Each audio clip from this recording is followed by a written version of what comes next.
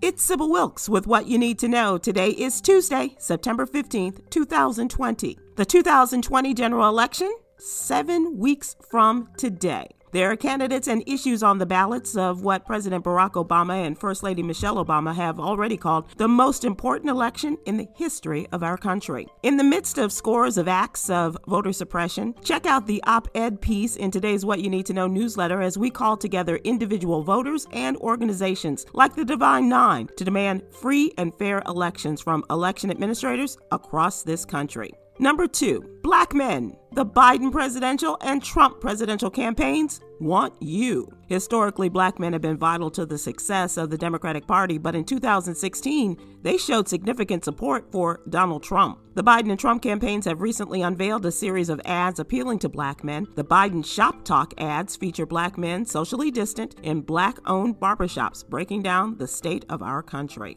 Number three, as the pandemic continues and the general election approaches, Democrats announced it is launching an expanded online portal called IWillVote.com. This allows visitors to register to vote and request a mail in ballot in their state. Both the Democratic and Republican parties have recalibrated their get out the vote efforts. Democrats have suspended their door knocking efforts to prevent the spread of the coronavirus and focused on digital, texting, and phone calling efforts to attract potential voters. Number four, a Clayton County, Georgia Sheriff's deputy has been fired for excessive force after a video released of him repeatedly punching an African American man during a traffic stop. 26 year old Roderick Walker was arrested and beaten by deputies after the car that he, his girlfriend, and their children were passengers in, and it was pulled over for an alleged broken tail light. Walker's attorney says deputies asked for Walker's ID, then they got upset when he questioned why it was needed, since he wasn't even driving.